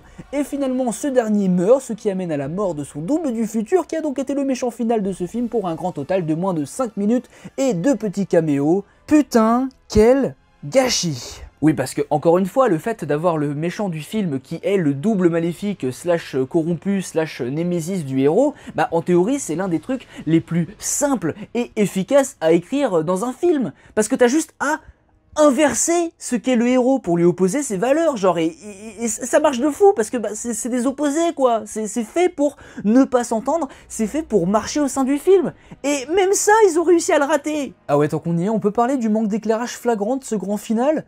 Enfin, on, voit que dalle. Le truc le plus éclairé, c'est le putain de fond en CGI fluo. Oh, j'en peux plus. Ah, j'en peux plus. Ah, c'est ah, la, la dépressionnesse. Donc, euh, pour aucune raison, le temps autour de Barry se recette sur lui-même. Donc, apparemment, tous ces univers ne sont plus détruits finalement. M'en voilà ravi. Et après un dernier adieu à Nicolas Cage, Barry finit par remonter jusqu'à sa timeline et on le voit bien courir à l'envers comme il fallait, donc je comprends pas pourquoi les deux faisaient pas ça avant, mais bref. Et vraiment, je crois que je vais péter un cap parce que le film décide de nous illustrer le cadavre du second Barry être avalé par les sables du temps, et euh, dit en passant, alors que Bat Keaton et Supergirl sont tous les deux morts, euh, genre euh, une cinquantaine de fois comme des merdes. Tout ça avec la musique la plus joyeuse et héroïque du monde. On assiste à la mort d'un univers. Est-ce qu'on peut arrêter de sortir les trompettes en mode waouh, let's go, la Coupe du Monde? C'est bon. Encore un film qui a bien compris la gravité de ce qu'il montre. Euh, c'est génial. Non, parce qu'on résume, hein, les gars montrent comme étant un exploit de héros le fait pour Flash de rebooter un univers maudit qu'il a créé par erreur après avoir tué son double, son mentor et sa possible meuf, tout en ayant réduit cet univers en esclavage à des aliens juste avant d'être transformé en Krypton. C'est.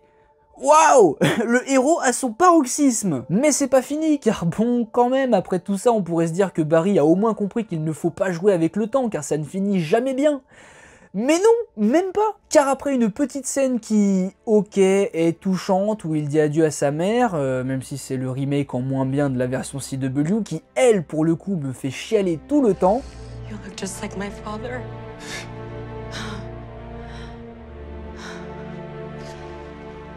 This won't make any sense.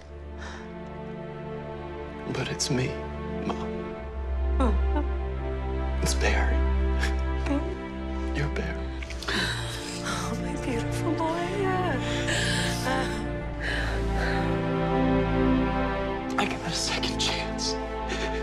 To come back here.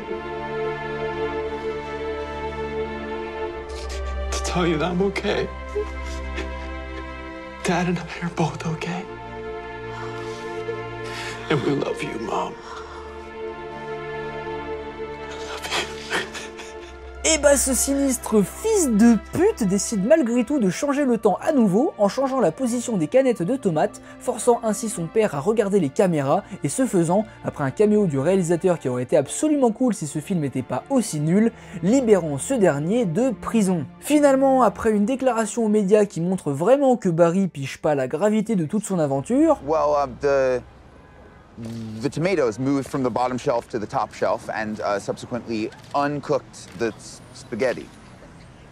Unquote.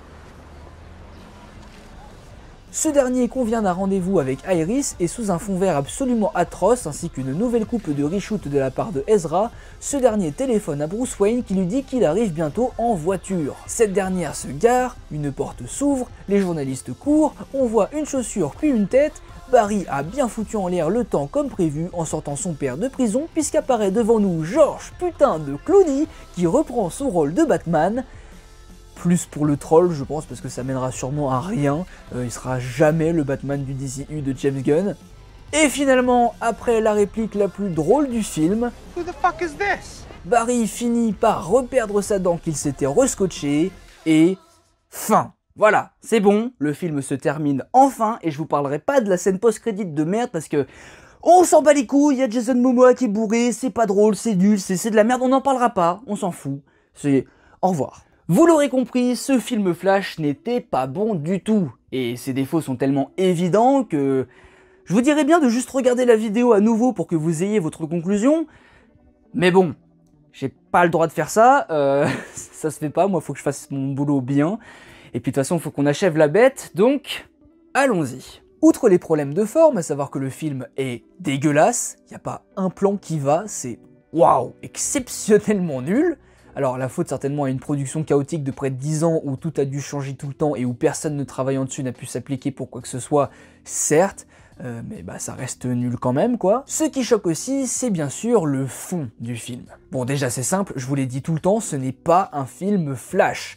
Flash est tout, sauf le focus des événements, il n'évolue pas d'un iota, le film se finissant même sur lui qui reproduit l'erreur qu'il aurait dû comprendre qu'il ne doit pas faire pendant le film, et que le film te fait croire qu'il a appris, mais non, même pas, donc on fait paradoxalement du surplace et on part en même temps dans tous les sens, c'est...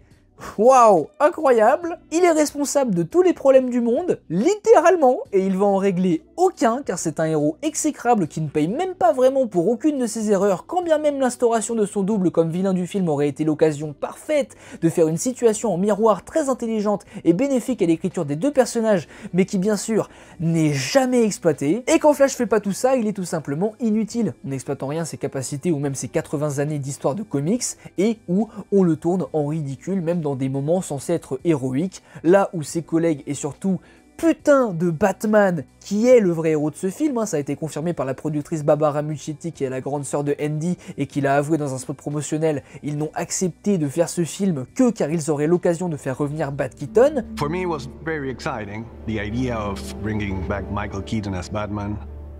You know, obviously because I saw Batman in the movies when I was a teenager. To be honest, the fact that we'd be able to bring Michael Keaton back as the Tim Burton Batman was one of the things that cemented our decision to make The Flash. Eh bien eux sont iconisés, sont mis en avant, font avancer le récit d'une bonne manière quand bien même ont été cut les trois quarts de leur parcours de personnages et qu'on ne fait que de se branler sur de la nostalgie sans importance, cohérence ou même pertinence et donc sans saveur. Et je pourrais déjà m'arrêter là, parce que, enfin, je veux dire, vous n'avez pas besoin de moi pour comprendre que un film flash où les producteurs font ce type de déclaration, bah ça ne peut juste pas fonctionner. Oui, mais euh, c'est une adaptation de Flashpoint. Oui, Corentin, c'est vrai.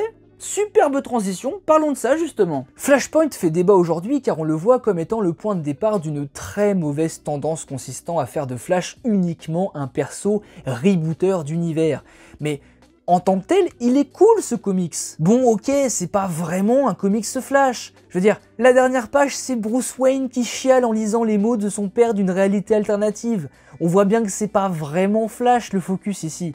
Mais c'est pas grave, parce que dans son contexte de sortie, Flashpoint c'était un événement crossover vraiment cool qui nous offrait une réalité alternative remplie d'idées plutôt stylax et qui, ok, sans branler un peu de Flash, mais vas-y, à l'époque, le Book, c'est un perso qui a des dizaines et des dizaines et des dizaines d'années d'existence. Donc, ça passe. Mais là, bah juste non. Faire une adaptation de Flashpoint dans un DCEU qui n'a jamais tenu debout en premier lieu, c'est complètement con. Parce que la réalité alternative qu'on nous montre, on n'a même pas vraiment de référentiel pour voir à quel point les choses ont changé.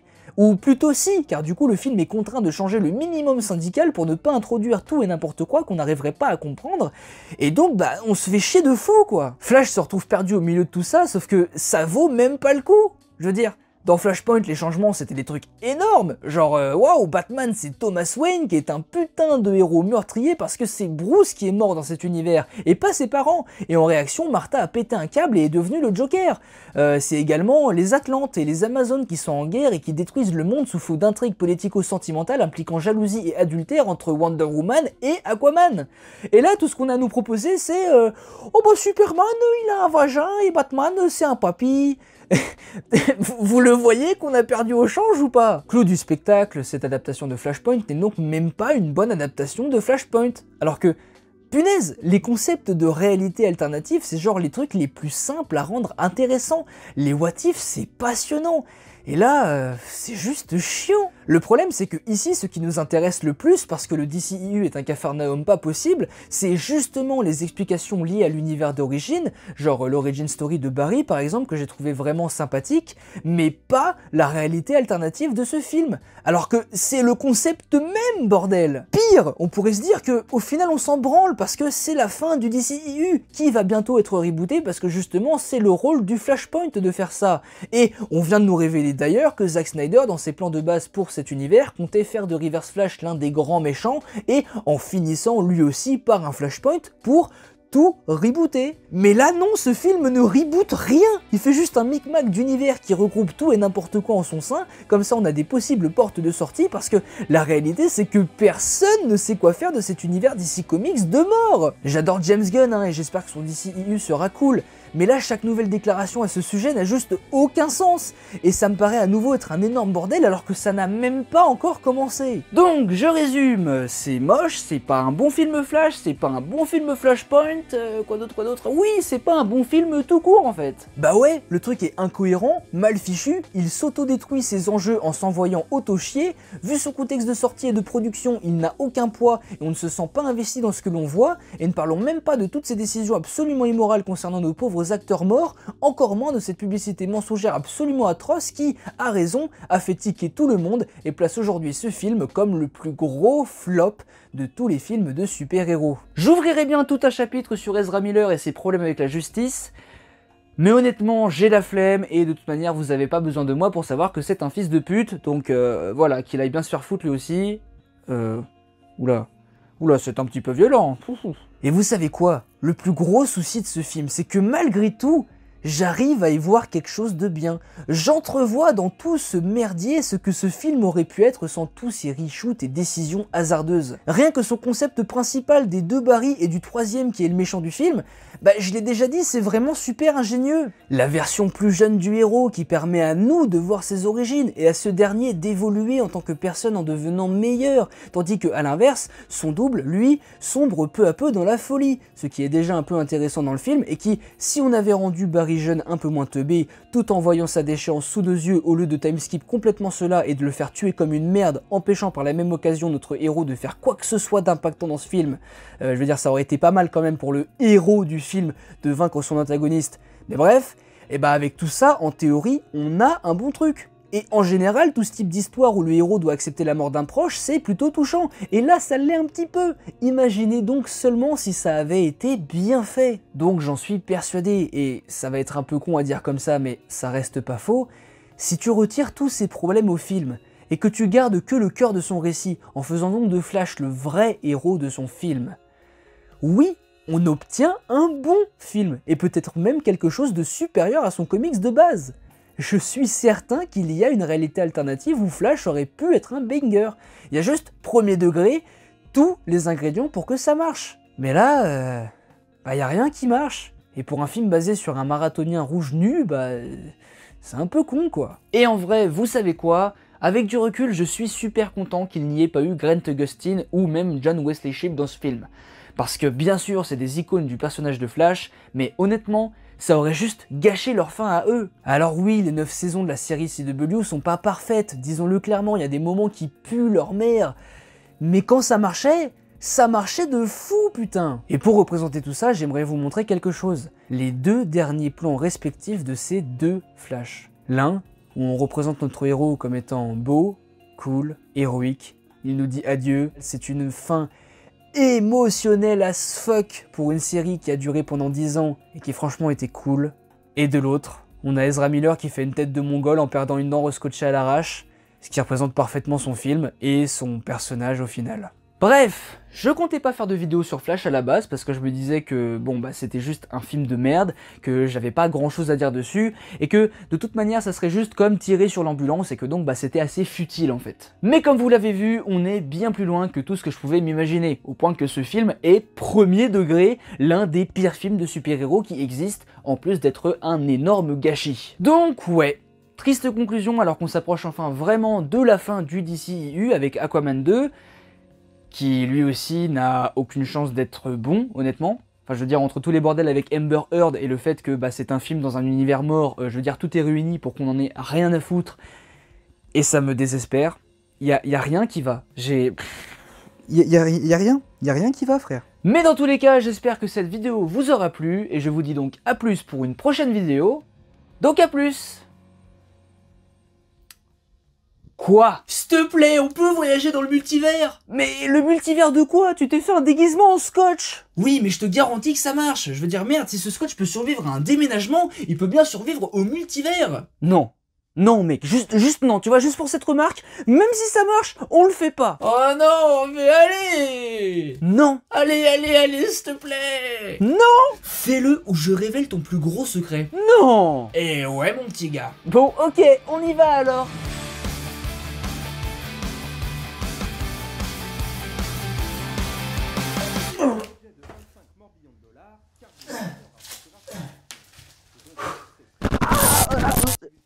Ça a marché Ah putain. Eh, plus jamais je t'écoute, j'ai l'impression d'avoir été massé par des rhinocéros. Chut, y a des gens là-bas. Pour un budget de 25 morbillions de dollars, Cars Legacy en rapportera 69. C'est donc un succès très correct pour un Apple TV Plus Originals qui place la saga Cars comme l'une des plus iconiques et dont j'ai hâte de voir la suite. La semaine prochaine, nous parlerons du nouveau Spider-Man, Mojo Dojo de la Casa Hombre, dans lequel Timothée Chalamet reprend le rôle de l'homme araignée. Sera-t-il à la hauteur? C'est ce que nous verrons. En attendant, prenez soin de vous. À très bientôt. Salut Mais Qu'est-ce que vous foutez chez moi euh, Bah c'est-à-dire qu'on a voyagé à travers le multivers et on s'est retrouvé chez... Boomster? Mais gros, qu'est-ce que tu fous là? On s'était pas vu depuis le film sur Aquaman. Comment ça, Boomster? C'est toi, Boomster? Moi, je suis Ludwig van Manitou. Hein? Bah, bah non, c'est moi ça. Enfin, c'est nous. Mais il est pas super physionomiste ton pote, hein. Euh, Non, il est complètement con. Eh oh Tu crois que tu peux venir comme ça chez nous à l'improviste? Et en plus nous insulter? Quoi? Mais c'est qui lui? Ah mais toi Toi, toi, toi, t'es qui? Et, et puis moi je suis qui hein? Eh mais vous, vous, vous êtes qui? Bon, ok, super. On a reproduit le même, c'est génial, c'est drôle, on va faire des RT, des tweets, tout ça. Mais sérieusement, est-ce que quelqu'un pourrait répondre à la question que tout le monde se pose, à savoir. Dis-moi, est-ce qu'il t'arrive de saigner? Quoi? Ça viendra. I can do this all day Tu aurais dû viser la tête. You wanna get that You wanna get that Parce qu'en fait, j'ai fait un stage de théâtre à Melun. Et moi, je suis... Ouais, ouais, Wakanda Forever, ouais, j'ai pas raison, la team Un grand pouvoir implique de... Oh vos gueules Vous faites chez tout le monde là Taisez-vous Non, mais t'es juste super aigri. hein. Ouais, ouais, t'es super aigri. Ouais, ok, super. Est-ce que quelqu'un sait où va ce caméo ou? Attendez.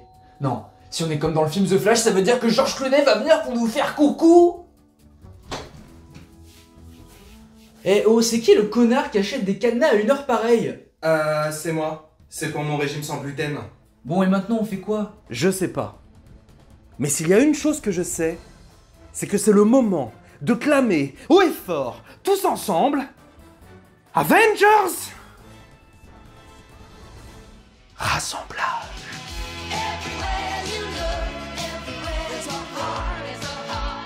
Non mais attends, la vidéo va pas se finir comme ça quand même Bah je sais pas, t'as une meilleure idée de fin?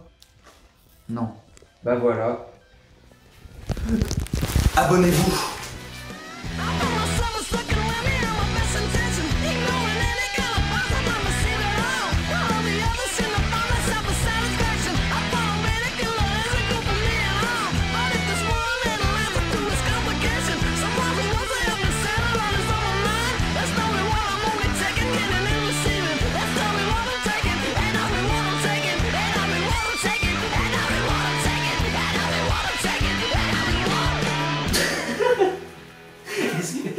Est-ce qu'on dirait que je me suis pris dans la gueule ou pas du tout Parce que moi vraiment j'ai signé Je sais pas, moi je vois pas l'image. Attends.